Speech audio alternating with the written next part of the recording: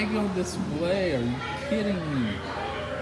So we got Fort Laredo. That's awesome. Look at the look at the saguaro cactuses they created. Cattle. That'll be a hit with Brolin for sure right there. And we got the saloon. Look at the foothills back there. They did a great job on those. Wow. Got the stagecoach down here.